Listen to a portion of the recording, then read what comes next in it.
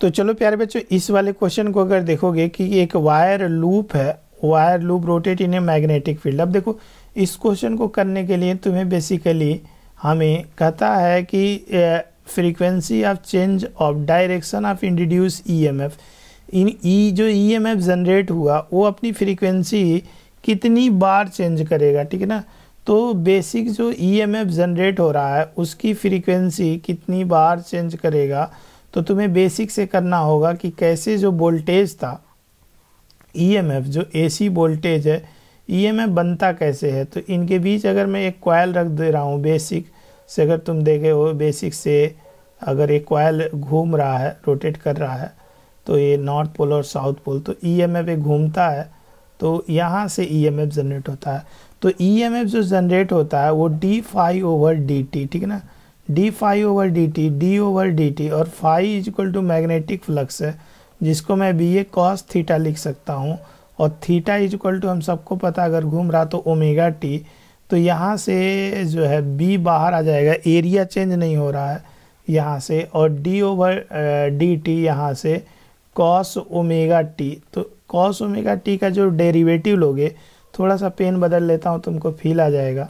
तो यहाँ से जो है बी ए इसका डेरिवेटिव लोगे तो यहाँ से साइन ओमेगा टी और यहाँ से चेन रूल भी लगेगा तो D over D T omega T का भी डेरिवेटिव होगा। तो फाइनली आ जाएगा बी ए ओमेगा और साइन ओमेगा टी। अगर नंबर ऑफ़ टर्न्स क्वाइल में एन है तो एन से मल्टीप्लाई भी कर दूँगा। तो जो ई एम एफ़ जनरेट हुआ, वो आ जाएगा बी ए ओमेगा एन यहाँ से और sine omega T this is the E M F generated due to the rotation of the coil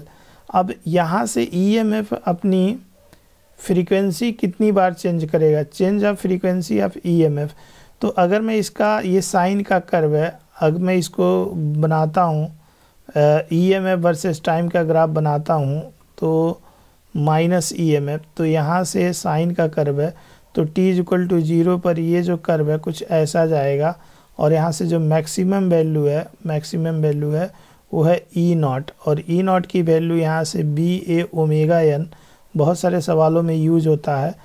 तो ये तो ये ये वाली जो चीज़ है, एक साइकिल में अगर देखोगे तो ये पॉजिटिव हुआ एक बार और निगेटिव हुआ दो बार ईएमएफ e ठीक है ना? तो एक साइकिल में the frequency of the change of direction of EMF तो पर साइकिल पर रिवोल्यूशन में जो है, वो दो बार अपनी डायरेक्शन बदलेगा ट्वाइस ये वंस नहीं होगा सिक्स नहीं होगा फोर नहीं होगा तो the best solution is the D सही होगा। आई होप कि मैं आपको बेहतर तरीके से कुछ अलग सोल्यूशन दिए हूँ तो अपना बहुत ख्याल रखो बाय